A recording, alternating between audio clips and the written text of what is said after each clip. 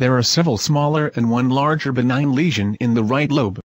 The cystic nodule contains microcalcifications and displays a type 3 vascular pattern. The malignant focus was in the ventromedial part of the left thyroid and displays irregular intranodular vascularization.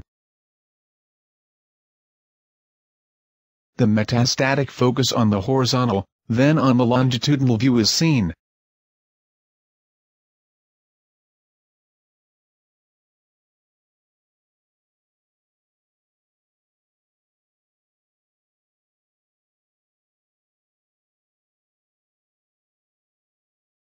There was a large lymph node in the left submandibular area with a very suspicious vascular pattern.